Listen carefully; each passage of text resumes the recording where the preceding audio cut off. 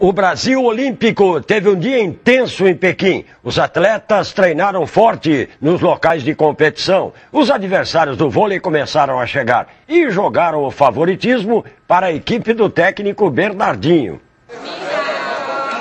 A menos de uma semana da cerimônia de abertura, a movimentação na cidade olímpica vai crescendo. É gente chegando, gente se ambientando, Hoje desembarcaram em Pequim duas das principais escolas do vôlei, Itália e Sérvia. As seleções femininas dos dois países, além de candidatas ao pódio, têm algumas das atletas mais bonitas das Olimpíadas, como a italiana Francesca Pettinini.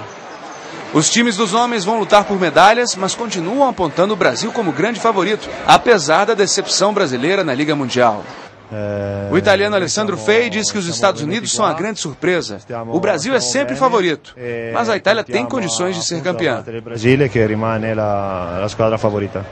Brasileiros de sete modalidades já estão em Pequim. Hoje o pessoal dos saltos ornamentais teve o prazer de entrar no cubo d'água.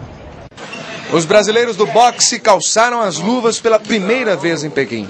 Ainda não treinaram no ginásio onde vão lutar, mas já estão concentrados e preparados para o combate.